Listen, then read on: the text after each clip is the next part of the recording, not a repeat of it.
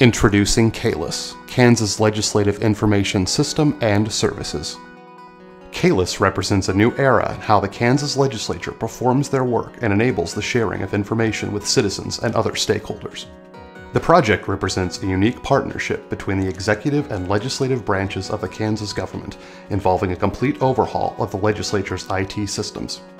KLISS involved the transition from a paper-centric workflow based on functional silos operating in a legacy mainframe infrastructure to a fully integrated end-to-end web-accessible solution. KLISS, in conjunction with numerous changes in business processes, has provided Kansas with an efficient, transparent system that supports all the functions of the Kansas legislature in executing the lawmaking process. Drafting and amending functions enable the revisers to create and edit bills in response to legislator requirements.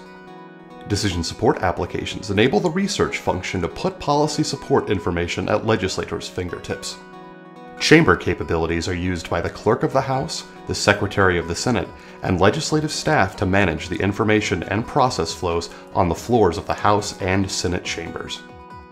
Publishing and tracking capabilities capture all versions of information as it changes throughout the lawmaking process, allowing all stakeholders a view into how law originates and evolves.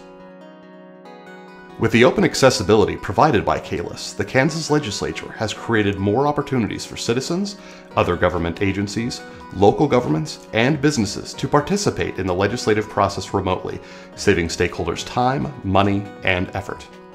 The KLISS team is delighted and honored that NASCIO has recognized this significant achievement in open government.